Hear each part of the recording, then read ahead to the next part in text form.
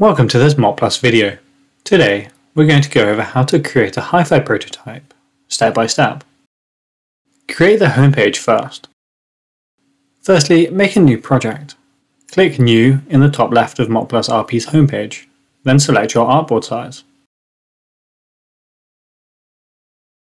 Go into the Edit page. Drag the logo image onto the artboard. Add the search icon, title and description of the page. Use the content panel, adjust the size, then double click to add a sub-artboard and add a carousel module below the text. The content of the carousel will be on the sub-artboard. Then, create categories with icons and text below the carousel. Below the categories, create a horizontal scrolling menu bar with content panel components, text and images.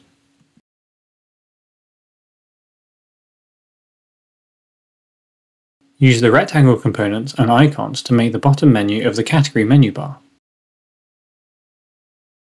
Drag icons onto the artboard and adjust the size and position. Then, create a shopping cart page. Select New Page on the project tree. Set the main title and description of the page. Below the text, a horizontal content display column is designed. Use icons, pictures, rectangles and text components to create the content of the product display and adjust the size. Use icons, text and button components to craft billing information content.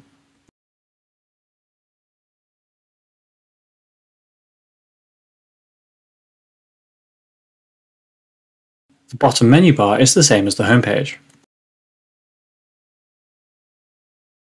Then create a My Account page. Select New Page on the project tree. Use the rectangle component, adjust the size and fill the color to make the background image. You can add the circle component on it to make the background image richer. Insert pictures, icons and text on the background image. Below the background image is a category tab made with text, rectangle and icon components.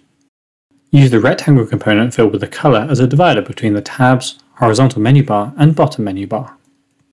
Below the category tab is a horizontal menu bar made with text, rectangles, and icons. The bottom menu bar is the same as the homepage. Then, let's make the carousel interactive. Select the main artboard. Add an interaction. Select the target content panel.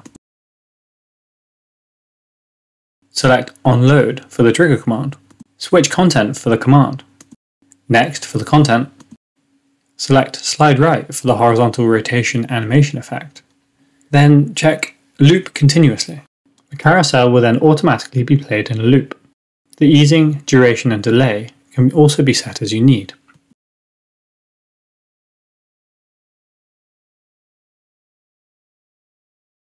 Now for the last step, creating the page jumping interaction.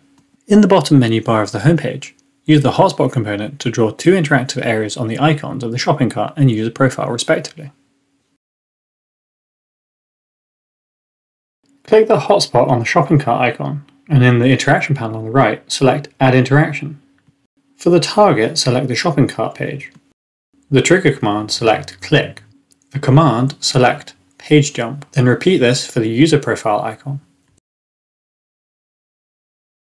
Now let's have a look at our design.